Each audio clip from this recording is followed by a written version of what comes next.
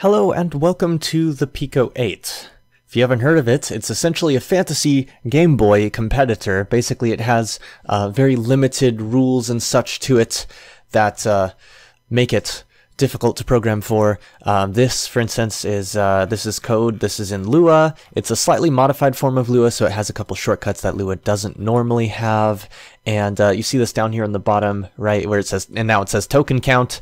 Basically, you're limited to a certain number of tokens. You uh, line numbers are not limited. That just that's just telling me where I am. Uh, there's a sprite editor thing. Um, yes, these are terrible. Just ignore these for the time being. Uh, they will be changed, of course.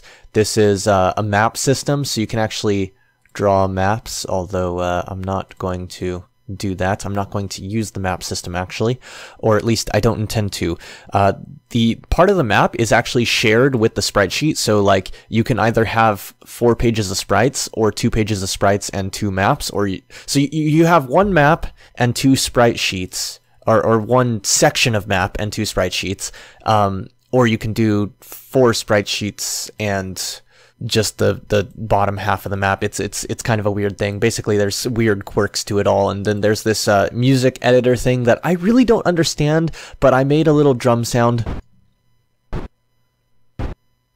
I'm hoping I can uh, get some help from someone who is good with music because um, what I would like to do with this is because it allows you to have a bunch of different samples and you can do different things with different samples. I'd like to have um, I'd like to do something like actual No Man's Sky in that I'd like to have samples and different, you know, different samples and then play different combinations of samples depending on what you're doing at the moment in the game or whatever. Anyhow, right quick, I'm going to show you what this does right now. What this does right now is it just, uh, it generates, uh, it gener it's a procedurally generated galaxy and the way it is right this moment, if you run it, it will just um, generate the names of of the systems in the like first sector of the galaxy that you get to, and it takes a while to generate.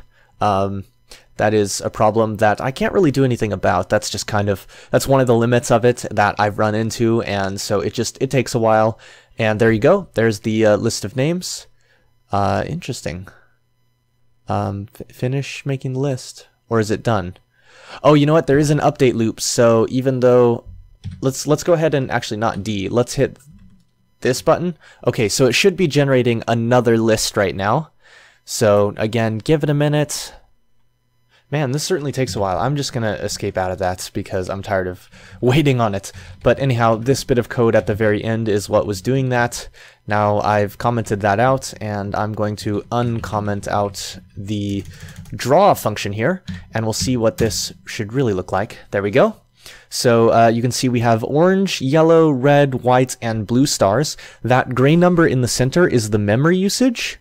And I have that there because uh, one thing I found out by accident right away when I started um, adding more detail. Basically, originally this map was drawn every frame, generated and drawn every frame, which takes up a lot of processing power and overworks the CPU, at least the um, virtual CPU. It's it's not actually overworking the computer, but um, that means that I, I had to have this stuff like pre-generated and so I decided rather than having like a free-flowing map that you can move around which would be very very laggy and horrible it's divided into pages. And so you hit an arrow to go between different pages. You can't tell which direction I'm hitting right now but I'm hitting different directions on the keyboard and I'm going to different like sectors I guess you could say.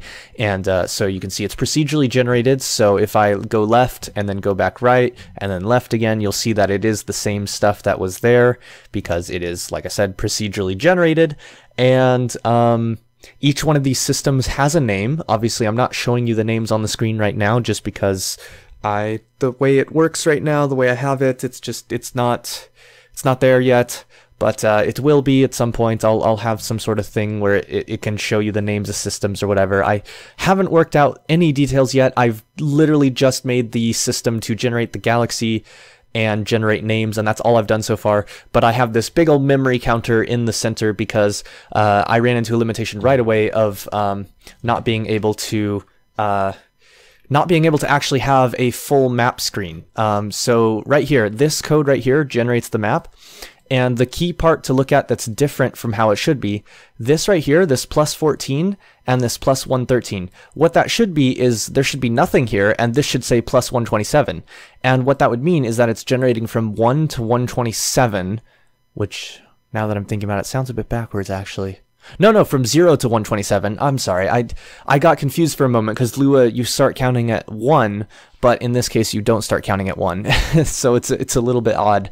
Um, in any case, um, it would be from 0 to 127 to have 128 by 128 for the x and y axis, but I can't actually do that. So I decided to go with 100 by 100 and then this plus 14 and this plus 113 instead of it being 0 to 99 is so that it's drawn in the center of the screen instead of um, instead of in the top left that way it's um it's less noticeable that it's actually wrong you know what i mean you you don't really notice unless you're paying close attention that these sectors aren't like full sized. And the max memory that we're allowed to use in the Pico 8 is 1024 megabytes. And this number in the center is how many megabytes I'm using. So you can see I'm running fairly close to that memory limit just with this.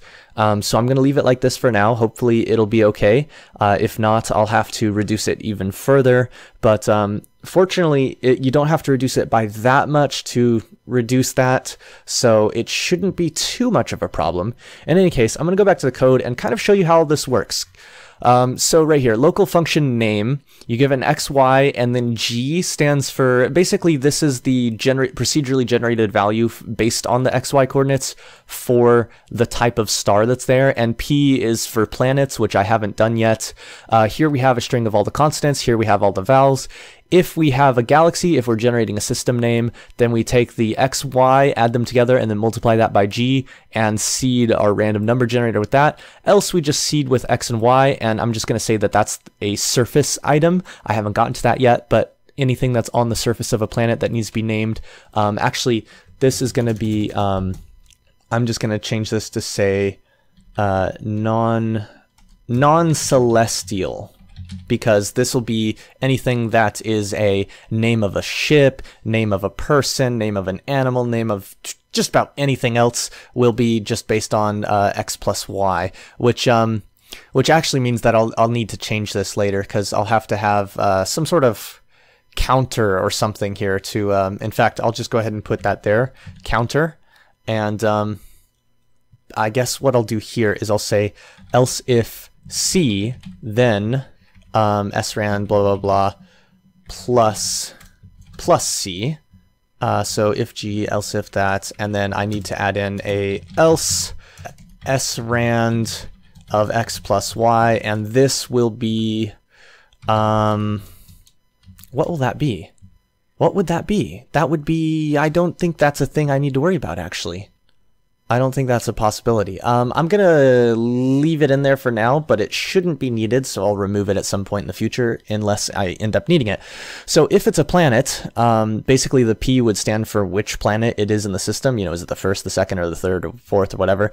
Um, if it is a planet, then we go from zero to that number times two, and we throw out some random values. That way we can generate a different name for the planets than the system, because else this would just, it would just seed with the system um, which is oh yeah, this is system right here. Yeah, yeah, it would no, no, this is system. I'm sorry, my brain went derp for a moment there. Else it would just seed with this, and you'd get every planet in the system with the same name, which we don't want, obviously.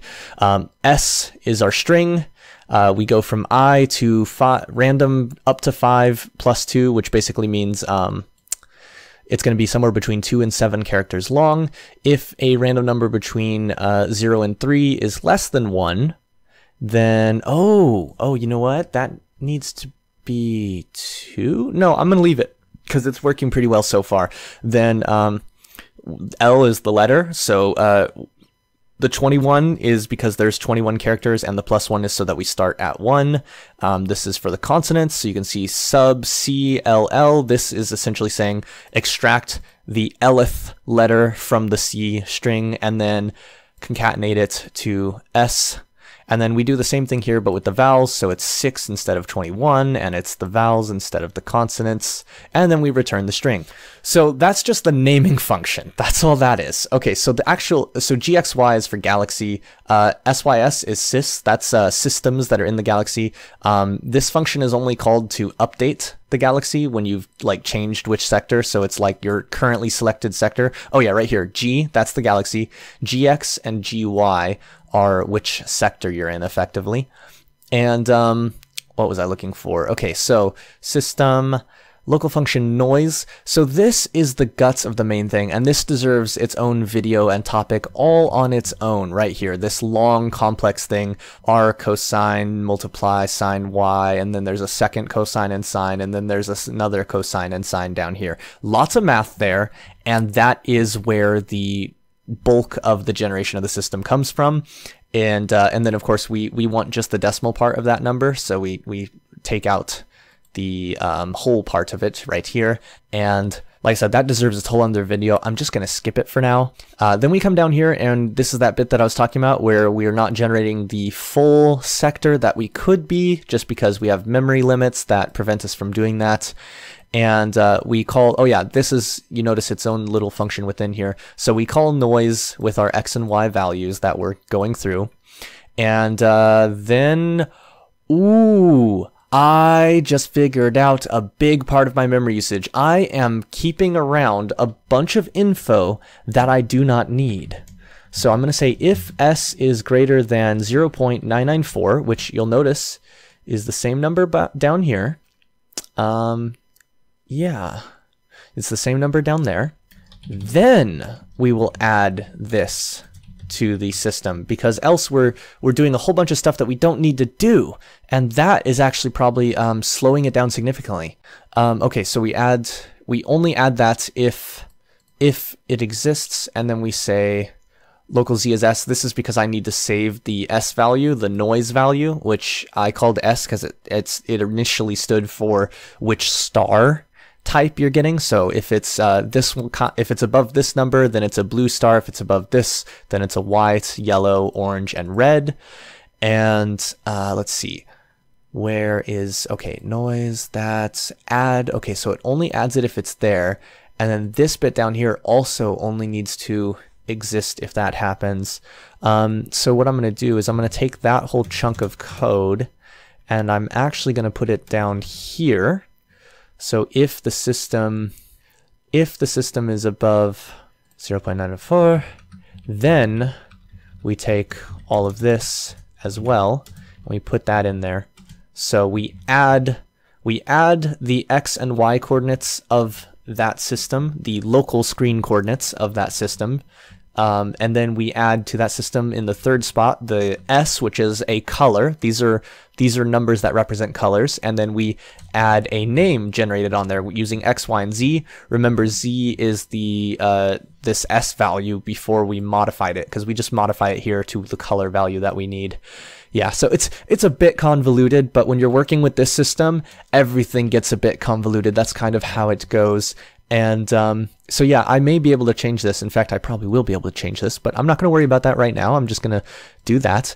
Down here, the update function, if we push, this is a left button, this is right, this is up, and this is down. Then um, left, we go left, right, blah, blah, blah. This is the same kind of thing you'll see anywhere. Um, just the main difference is that we go by a negative 128, which I could actually change this to 100, since technically um, our sectors are like smaller than that, I could actually change this. In fact, I could change, um, I could change the procedural dynamics of the whole thing um, just by changing this number. I can actually change everything up a bit, um, which is interesting. I hadn't thought of that. I'm gonna leave it like this for now, but I could, and then, um, but I could do something about that, and then I regenerate the galaxy if I need to uh, after any of these button presses.